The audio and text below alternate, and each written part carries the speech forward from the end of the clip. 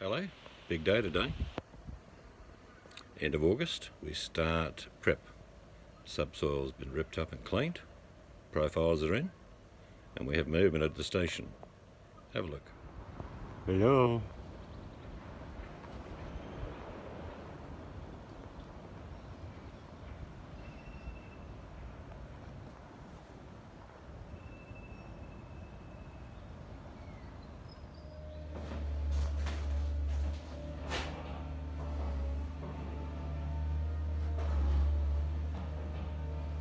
Picking up all the crap, bits and pieces, digging it down to a certain depth, which is what they have to do.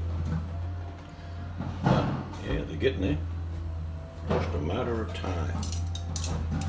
Excited? Yeah, I think they found a tyre. No, that's the Bobcat. Mm. Tyre. I found a tyre. You're a silly woman.